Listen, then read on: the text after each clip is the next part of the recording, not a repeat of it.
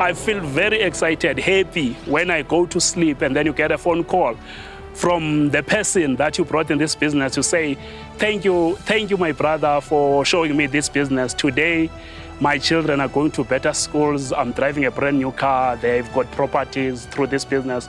So it's not about, this business It's not about me. It's about how many people I take with me to the top of the mountain because uh, success is guaranteed when you help as many people as you can to be successful.